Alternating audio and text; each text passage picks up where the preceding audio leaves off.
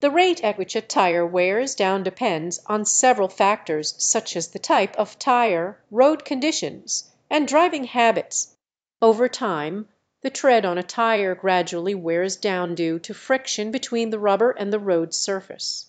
This can vary, but on average a tire can last for approximately 40,000 to 80,000 miles before needing to be replaced.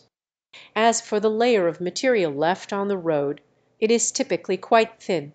The rubber particles that are shed from the tire during normal wear and tear create a thin film on the road surface.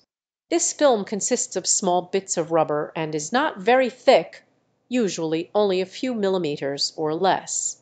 However, it can accumulate over time and contribute to the overall pollution of the environment.